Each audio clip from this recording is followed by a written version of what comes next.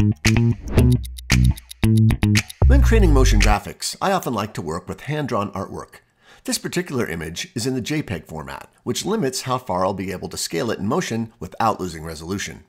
The app I use to address this is called Image Vectorizer. Link below. Just drag your low-res drawing or logo into the left window and click Vectorize. Click Export Vector, then choose the PDF format and save it to your hard drive. In Motion, drag the PDF file into the canvas. Press Shift-T to make the background transparent so you can see the artwork. To scale the image from the center, hold down Option and Shift and drag outward on any control handle, then reposition it where you want. Now if you look closely, the image is a bit soft. Select the Media tab, then the artwork. In the inspector, uncheck Fixed Resolution. The artwork is now tack sharp and can be scaled even further if need be. As an added bonus, the vectorized art can be brought into Illustrator or Affinity Designer for further editing